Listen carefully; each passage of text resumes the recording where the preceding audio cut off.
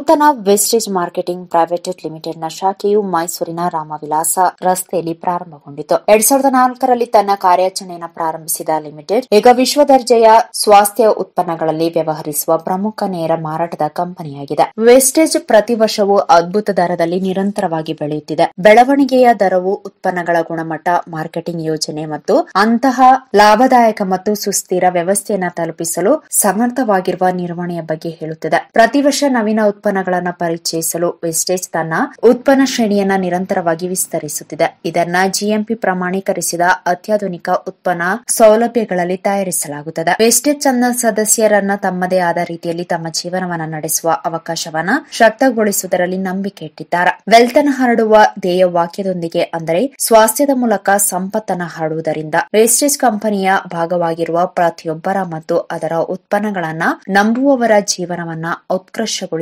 ಎನ್ನುತ್ತಾರೆ ಕ್ರೋನ್ ಡೈರೆಕ್ಟರ್ ಆನಂದ್. ಮತ್ತು ಇದರಿಂದ ರೈತರಿಗೆ ಹೆಚ್ಚು ಅನುಕೂಲವಾಗಲಿದ್ದು, ಹೆಚ್ಚು ಲಾಭ ಗಳಿಸುವಲ್ಲಿ ಉಪಯುಕ್ತವಾಗಲಿದೆ ಎಂದು ಗಿರೀಶ್ ಮಾದನಹಳ್ಳಿ ತಿಳಿಸಿದರು. ಇಂಡಸ್ಟ್ರಿ ಇಂಡಿಯಾದಲ್ಲಿ ಸ್ಟಾರ್ಟ್ ಆಯಿತು. ನಮ್ಮ ವೆಸ್ಟೀಸ್ ಪ್ರಾರಂಭ ಆಗಿ ಎರಡು ಸಾವಿರದ ನಾಲ್ಕರಲ್ಲಿ ಸ್ಟಾರ್ಟ್ ಆಗಿತ್ತು ರೈತರಿಗೆ ಅಂದರೆ ಇವತ್ತು ನೋಡಿ, ಇವತ್ತು ರೈತರು ಇವತ್ತು ನಮ್ಮ ದೇಶದಲ್ಲಿ ವ್ಯವಸಾಯ ಪ್ರಧಾನ ರಾಷ್ಟ್ರ ಅಂತ ಹೇಳ್ತೀವಿ. ರೈತರು ಎಷ್ಟೇ ಹೋರಾಟ ಮಾಡಿದ್ರು ಅವರು ಜೀವನ ಮಾಡೋದಕ್ಕೆ ಕಷ್ಟ ಆಗ್ತಾ ಇದೆ. ಸ್ವತಂತ್ರ ಪೂರ್ವದಲ್ಲಿ ನಾವು ಯಾವುದೇ ಆರ್ಗ್ಯಾನಿಕ್ ಗೊಬ್ಬರ ಬಿಟ್ಟರೆ ಯಾವುದೇ ಇದು ಫರ್ಟಿಲೈಸರ್ನ ನಾವು ಯೂಸ್ ಮಾಡ್ತಾ ಇರಲಿಲ್ಲ ಕೆಮಿಕಲ್ಸ್ ಯೂಸ್ ಮಾಡ್ತಾ ಇರಲಿಲ್ಲ, ಕಳೆನಾಶಕ, ಕ್ರಿಮಿನಾಶಕ ಕೀಟನಾಶಕಗಳೆಲ್ಲ ಅದ್ರ ಬಳಸ್ತಾ ಬಳಸ್ತಾ ಭೂಮಿಯ ಫಲವತ್ತತೆನ ಕಳ್ಕೊಂಡಿರೋದ್ರಿಂದ ಏನಾಗ್ತದೆ? ವರ್ಷ ವರ್ಷ ಲಾಗೋಟ್ ಜಾಸ್ತಿ ಆಗ್ತಾ ಇದೆ, ರೋಗಗಳು ಜಾಸ್ತಿ ಆಗ್ತದೆ, ಮೆಡಿಸಿನ್ ಜಾಸ್ತಿ ಹೊಡಿತಾ ಇದ್ದಾರೆ, ಖರ್ಚುಗಳು ಜಾಸ್ತಿ ಬರ್ತಾ ಇದೆ, ಬೆಳೆಗಳು ಸರಿಯಾಗಿ ಬರ್ತಾ ಇಲ್ಲ. ಜೊತೆಗೆ ಭೂಮಿಯಿಂದ ಫಲವತ್ತತೆ ಕಡಿಮೆ ಆದಂಗೆಲ್ಲ ರೋಗ ಜಾಸ್ತಿ ಆದಂಗೆ ಮೆಡಿಸನ್ ಕೊಟ್ಟು ಆ ಮೆಡಿಸನನ್ನು ಇರುವಂಥ ಹಣ್ಣು ಸೊಪ್ಪು ತರಕಾರಿಗಳನ್ನ ನಾವು ತಿನ್ನೋದ್ರಿಂದ ಏನಾಗ್ತಾ ಇದೆ ಅಂದರೆ ಜನಗಳಿಗೂ ಕೂಡ ಆರೋಗ್ಯ ಇವತ್ತು ಕೆಡ್ತಾ ಇದೆ. ಜನ ನೂರು ವರ್ಷ ಬದುಕ್ತಾ ಇದ್ರು. ಇವಾಗ ಐವತ್ತು ವರ್ಷದ ಮೇಲೆ ಎಕ್ಸ್ಟ್ರಾ ಬಂದು ಬದುಕಿದ್ರೆ ಅದು ಬೋನಸ್ ಆಗಿದೆ. ನಮ್ಮ ಮಧ್ಯದಲ್ಲಿ ಎಲ್ಲದಕ್ಕೂ ಕೂಡ ಗ್ಯಾಸ್ಟ್ರಿಕ್ ಅಂತೆ ಅಲ್ಸರ್ ಅಂತೆ ಬಿ ಪಿ ಅಂತೆ ಶುಗರ್ ಅಂತೆ ಥೈರಾಯ್ಡ್ ಅಂತೆ, ಎಲ್ಲದಕ್ಕೂ ಮೆಡಿಸಿನ್ ತಗೊಂಡು ಬದುಕ್ತಾ ಇದ್ದಾರೆ. ಅದರಿಂದ ಸೈಡ್ ಎಫೆಕ್ಟ್ ಆಗ್ತಾ ಇದೆ. ನಮ್ಮ ವೆಸ್ಟೀಜ್ ಕಂಪನಿ ಏನಪ್ಪ ಅಂದರೆ ಆರ್ಗ್ಯಾನಿಕ್ ಪ್ರಾಡಕ್ಟ್ಸ್ಗಳನ್ನ ಒಂದು ಆರು ಪ್ರಾಡಕ್ಟ್ಗಳನ್ನ ಭೂಮಿಯ ಫಲವತ್ತತೆಯನ್ನು ಜಾಸ್ತಿ ಮಾಡೋದಕ್ಕೆ, ಅದಕ್ಕೆ ಯಾವ ರೀತಿಯ ಪೋಷಕಾಂಶಗಳನ್ನ ನಾವು ಕೊಡಬೇಕು, ಎಲ್ಲ ಥರದ ಪೋಷಕಾಂಶಗಳನ್ನು ಕೂಡ ನಮ್ಮದು ಆರ್ಗ್ಯಾನಿಕ್ ಮುಖಾಂತರ ಕೊಡ್ತಾ ಇದ್ದೀವಿ. ಅದ್ರ ಜೊತೆಗೆ ಅವ್ರ ಕೈಗೆಟುಕೋ ಬೆಲೆಯಲ್ಲಿ ಸಿಗ್ತಾ ಇದೆ.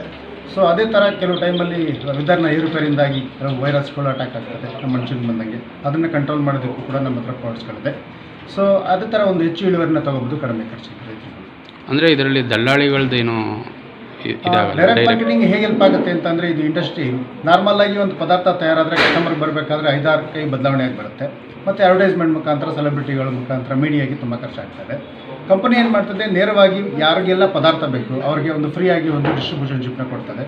ಅವ್ರಿಗೇನೆಲ್ಲ ಪದಾರ್ಥ ಬೇಕು ಮಾರ್ಕೆಟಲ್ಲಿ ತೊಗೊಂಡ್ಬಂದು ಡೈರೆಕ್ಟಾಗಿ ಇಲ್ಲಿ ಪರ್ಚೇಸ್ ಮಾಡೋದ್ರಿಂದ ಅವ್ರಿಗೆ ಡಿಸ್ಕೌಂಟಲ್ಲೂ ಸಿಗುತ್ತೆ. ಇದನ್ನು ಬೇರೆಯವ್ರಿಗೆ ಪ್ರಮೋಟ್ ಮಾಡೋದ್ರಿಂದ ಏನಾಗುತ್ತೆ? ಅಡ್ವರ್ಟೈಸ್ ಆಗುತ್ತೆ. ಆವಾಗ ಅದರ ಸೇಲ್ಸ್ ಇಂಪ್ರೂವ್ ಆದಂಗೆ ಮಧ್ಯವರ್ತಿಗಳು ಹೋಗುವಂಥ ಅಮೌಂಟನ್ನು ಮತ್ತೆ ಯಾರೆಲ್ಲ ಪ್ರಮೋಟ್ ಮಾಡ್ತಾರೆ, ಅವ್ರಿಗೂ ಕೂಡ ಇದನ್ನು ವೆಸ್ಟೇಜ್ ಎಲ್ಲೆಲ್ಲಿ ಇದೆ ಸರ್ ಈಗ ಪ್ರೆಸೆಂಟ್ ಪ್ರೆಸ್ಟೀಜ್ ಇವಾಗ ನಮ್ಮ ಆಲ್ ಓವರ್ ಇಂಡಿಯಾದಲ್ಲಿ ಎಲ್ಲ ಕಡೆ ಇದೆ. ಅದಾದಮೇಲೆ ಇನ್ನೊಂದು ಐದಾರು ಕಂಟ್ರಿಗಳಲ್ಲಿ ಕೂಡ ನಮ್ದು ಆಗಿದೆ ಇನ್ನೂ ಇಪ್ಪತ್ತು ಗಂಟೆಗೆ ಇವತ್ತು ನಾವು ಕಾಲಿಡ್ತಾ ಇದ್ದೀವಿ. ಇವತ್ತು ಇಂಡಿಯಾದಲ್ಲಿ ನಾವು ಇವತ್ತು ಮೂರು ಸಾವಿರ ಕೋಟಿ ಸೇಲ್ಸನ್ನು ಇವತ್ತು ನಾವು ಮಾಡ್ತಾ ಇದ್ದೀವಿ ಹದಿನಾರು ವರ್ಷದಲ್ಲಿ. ಜೊತೆಗೆ ಇವತ್ತು ಇಂಟರ್ನ್ಯಾಷನಲ್ ಮಾರ್ಕೆಟ್ ಕವರ್ ಮಾಡಿ ಮಾಡಿದ್ದೀವಿ. ಇವತ್ತು ಒಂದು ಸ್ಪೆಷಲ್ ಏನಪ್ಪ ಅಂತಂದರೆ ಪ್ರಪಂಚದಲ್ಲಿ ಒಂದು ಅವಾರ್ಡ್ ನಮ್ಮ ಡೈರೆಕ್ಟ್ ಮಾರ್ಕೆಟ್ ಇಂಡಸ್ಟ್ರಿಯಲ್ಲಿ ಒಂದು ಗ್ಲೋಬಲ್ ಅವಾರ್ಡ್ ಅಂತ. ಟಾಪ್ ಹಂಡ್ರೆಡ್ ಯಾವ ಕಂಪನೀಸ್ ಇರ್ತದೆ ಅದಕ್ಕೆ ಗ್ಲೋಬಲ್ ಅವಾರ್ಡ್ ಸಿಗುತ್ತೆ. ಅದೊಂದು ಭಾರತೀಯ ಕಂಪನಿ ಅಂತ ಇದ್ದರೆ ಅದೊಂದು ಏಕೈಕ ಕಂಪನಿ ನಮ್ಮ ವೆಸ್ಟೀಜ್ ಅಂತ ಹೇಳ್ಕೊಳ್ಳೋದಕ್ಕೆ ಖುಷಿ ಆಗ್ತೀವಿ. ಆ ಟಾಪ್ ಹಂಡ್ರೆಡ್ ಜೊತೆಗೆ ಇವತ್ತು ಟಾಪ್ ತರ್ಟಿ ಪ್ಲೇಸಲ್ಲಿ ಕೂಡ ಇದ್ದೀವಿ. ಟಾಪ್ ಟೆನ್ಗೆ ನಾವು ರೀಚ್ ಆಗೋ ಲೆವೆಲಲ್ಲಿ ಇವತ್ತು ನಮ್ಮ ಕಾರ್ಯಕ್ರಮದಲ್ಲಿ ಎಂ ಲತಾ ಬಿಎಚ್ ಪ್ರಭಾಕರ್ ಸೇರಿದಂತೆ ಹಲವರು ಉಪಸ್ಥಿತರಿದ್ದರು.